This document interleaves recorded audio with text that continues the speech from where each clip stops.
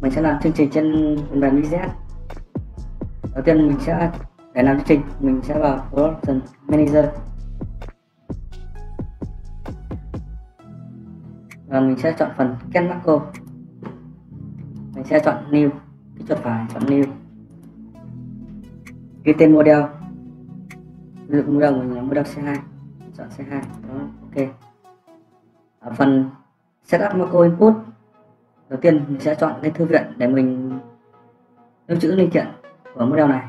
Thì ví dụ mình chọn thư viện, ví dụ một, sau đó phần inline method mình sẽ chọn là phần command cái file mình vừa xuất test ra, mình chọn cv đây. Tiếp theo, đến phần define cat format. Ở trong này, chúng ta sẽ nhận dạng về PCB về điểm mắc và linh kiện. Đầu tiên, trong cột record tip mình sẽ chọn phần panel outside, tức là kích thước của PCB kích thước của PCB thì mình sẽ chọn là sinh nhận dạng mình sẽ di chuyển đến phần của PCB mình kích chuột phải, chọn record PCB thì mình cần có chiều dài, chiều rộng. Phần đánh dấu sao là bắt buộc mình phải có. Và tiếp theo của nó là độ dày, nít.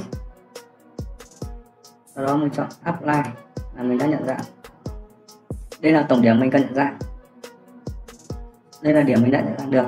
Và đây là còn 26 điểm mình chưa nhận dạng được.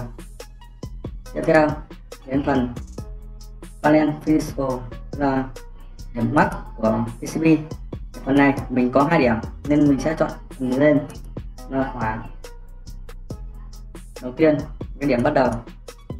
Đi có một. Chọn đi điểm kết thúc ending tiếp theo. Đổi.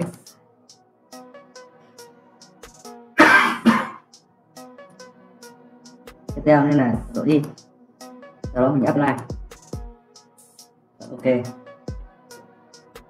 Cuối cùng, đó là toàn độ điểm cắn mình sẽ chọn placement và phần method mình sẽ chọn là left over từ trái sang phải cột đây của mình là designator. Những cột sao này bắt buộc mình chọn. Còn đi, cột uh, designator này mình chọn cho thêm thôi. Phần uh, à, chi tiết. Tiếp theo đây là bật lên. Đây tôi là x. Là y. Và cuối cùng nó là góc xoay. Rotation đó mình chọn apply ok. Ở đây mình đã nhận dạng đủ 27 điểm. Mình sẽ còn setup macro setting. Ở phần này mình ví dụ, cái hai cái mình đang làm ở mặt top hay mặt bot thì mình sẽ này như ở đây top là top top là t bot là b. Đó chọn phần import. Import ở đây là mình ghi tên cái file model mình cần sản xuất. Như của mình nó là model C2 version của mình là version 1 đó chọn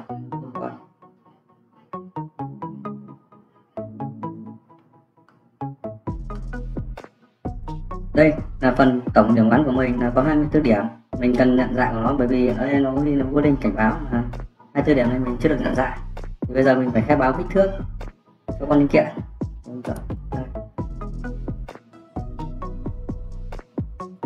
Những con linh kiện, sau khi mình làm chương trình mà chưa nhận dạng được, nó sẽ hiển thị màu đỏ. Vì nó không xác định được hình dạng của nó như là cái tiếp theo, chúng ta phải nhận dạng cho nó thì chúng ta quay trở lại phần part manager để khai báo cho con linh kiện.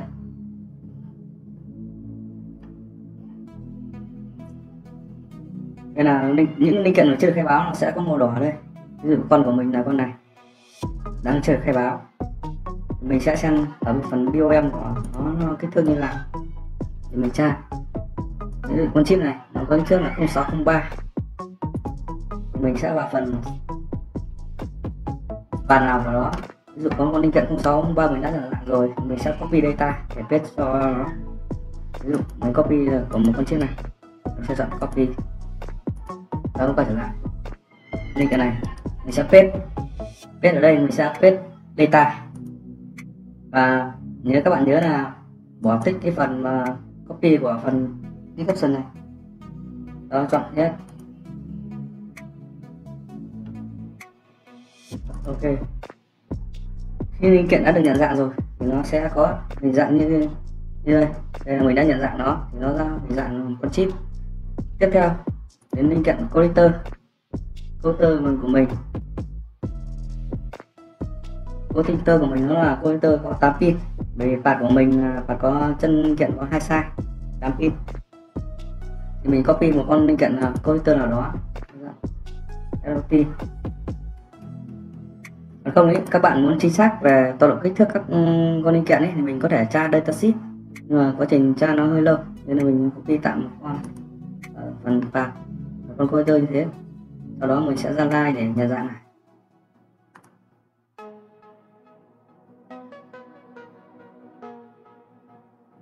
vì coder mình tơ hai sai mình sẽ copy một con tơ hai sai chọn copy, sau đó quay trở lại cái và con linh kiện mình cần nhận dạng và mình viết data và cũng bỏ phần description này đi. Và chọn nhất. Ok. Khi mình đã nhận dạng xong rồi, thì phần con linh kiện nó đã hiển thị hết cho mình. Tiếp theo, mình sẽ chọn save là xong quá trình cắt cô. ở phần production này mình chỉ cần làm đến đây. Tiếp theo mình sẽ ở phần project. Project mình sẽ, trong đây mình có visualize, tức là lại cái này ảo, để mình ờ, optimize cho nó. Ví dụ mình sẽ chọn là line e. Mình mình. Kích vào line e. Mình cũng kích chuột phải. Chọn new. Đặt tên model. Tiếp theo, tìm cái file. Vừa mình vừa làm ở phần production ví dụ file của mình vừa làm đây mình sẽ chọn add sang windows đó chọn ok.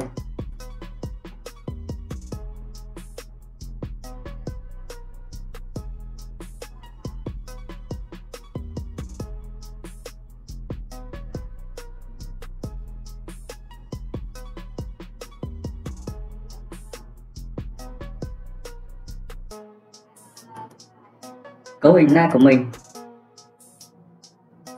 ở cái này mình ý, thì sẽ có ba module của NPM máy 1, máy 2, máy 3 NPM của mình là NPM D3 thì đầu tiên là phần production need ở đây phần 31 là để mình chọn chế độ gắn cho tất cả máy. Ví dụ mình chọn chế độ xe mode tức là tất cả cùng gắn thì chọn xe.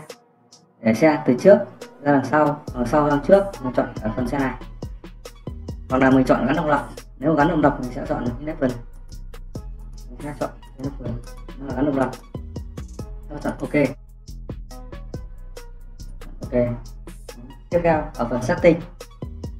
Trong phần setting này đầu tiên là phần merchant setting.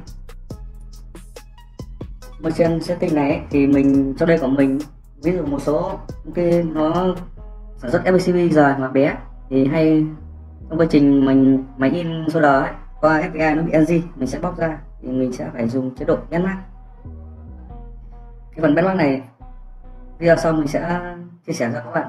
Hiện tại mình không, đang không làm nên mình không tích ở đây. Cái phần tiếp theo communication composition ở đây gì?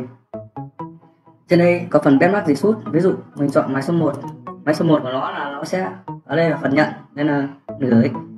Nó không nhận benchmark của máy nào cả. Ví dụ, các công ty dùng chế độ dùng hệ thống ấy, giữa máy FPI và máy bao ấy. Ví dụ FPI nó ING rồi thì nó sẽ xem cho máy lấy máy mau ấy nó sẽ làm ép thì ừ, máy mau nó sẽ không gắn. Nhưng tại bên mình không dùng hệ thống đấy. Nên máy một mình để chế độ là nó sẽ gửi. Nó check xong nó gửi tiếp theo máy số 2 nó nhận của máy 1 sau đó nó gửi sang máy số 3 và tiếp theo máy số 3 nó chỉ nhận thôi nó không gửi cho nữa nào cả. Đó, chọn ok. Tiếp theo muốn trong phần setting. Mình chọn phần inventory trong đây là để mình khai báo số lượng feeder của mình, cũng như là số lượng nozzle ví dụ, đối với con này computer nhà mình, dùng nozzle là 235 nhưng mà 235 là 235 CL còn 235 CF nhà mình lại không có.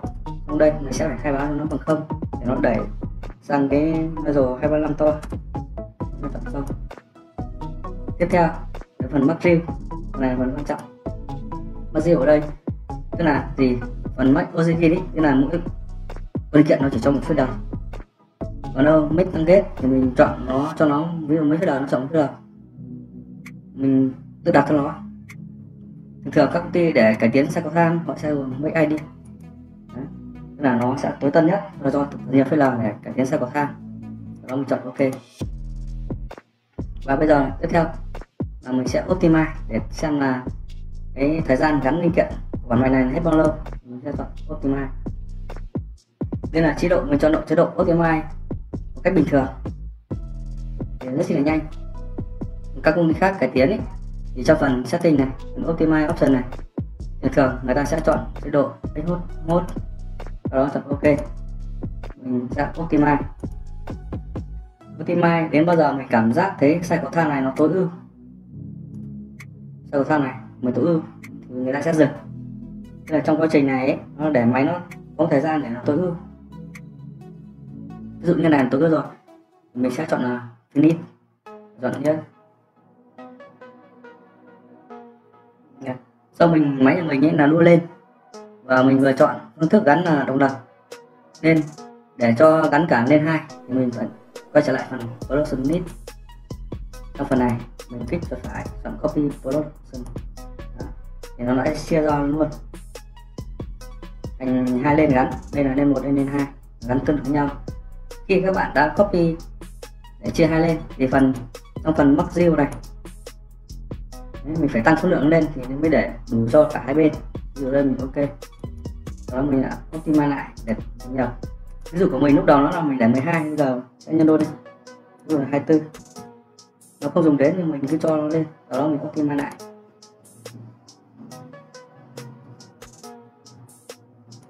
Bây giờ đến sao có tan tối ưu rồi? Mình sẽ chọn finish đây là cái size của thang của mình, của model này. Tiếp theo, mình sẽ chọn simulation. Để nó đổ số này tiếp theo, chọn reset. Ở trong phần reset này, mình đang làm ở lại ảo. Bây giờ mình sẽ chuyển sang lại thực. Lại thực thì mình chọn số data và chọn cái line mình cần muốn muốn chương trình đổ giờ ví dụ mình có ba line. Mình muốn chuyển sang này rồi chẳng hạn. Mình sẽ chọn này rồi sau đó không override sau đó chọn ok.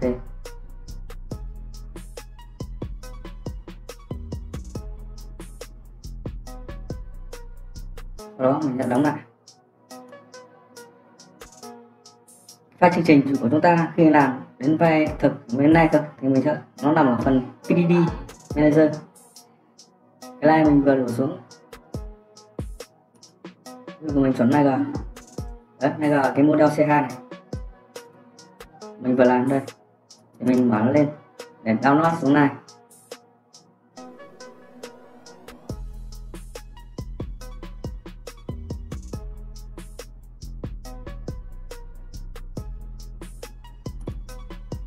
Đây là size của Samsung ra Optima trong đây, nó giới thiệu cả ba máy. Với máy số 1 thời gian gắn của nó là mất 4.7 giây. Máy số 2 là 2.4 máy số 2 là chỉ bypass thôi. Máy số 3 là 10 giây trên đây nó có cycle time số điểm cắm số tơn, nó dầu ra gắp thời gian bình quân để gắn cho một con linh kiện. Và đây là tổng CPS đây là số điểm cắm trên một giờ. Fly trong đây mình sẽ commit to PDD sau khi thay đổi xong ở đây. Ok. Khi download xuống này thì mình phải kích mũi tên để đánh dấu model, và sau đó chọn phần download reset để đăng xuống này. Nhưng do mình có máy của mình mình đã